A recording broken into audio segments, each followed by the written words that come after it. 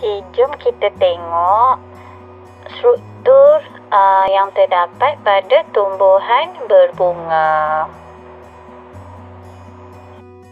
Okey, first kali adalah enter. Enter fungsi dia adalah menghasilkan butir debunga. Okey, yang ni adalah bahagian jantan tumbuhan. Dan ada satu tiub yang memegang enter kita panggil sebagai filamen. Okey, fungsi filamen adalah memegang enter. Enter dan filamen ni adalah bahagian jantan pada bunga. Okey, nak kita tengok bahagian betina bunga. Kita ada stigma, stil dan juga ovari. Okey, apa pula fungsi stigma ni? Okey, stigma ni dia akan menerima butir debunga. So, butir debunga, debunga akan melekat dekat sini lah. Dekat stigma.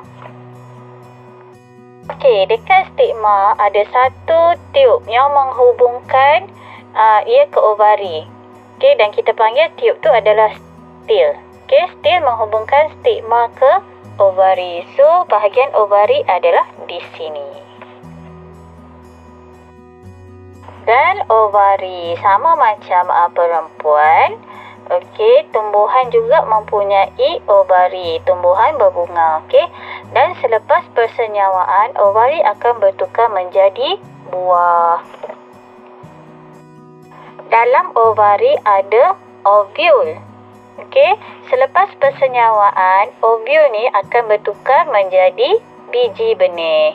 Ovule menjadi biji benih ovari akan menjadi buah.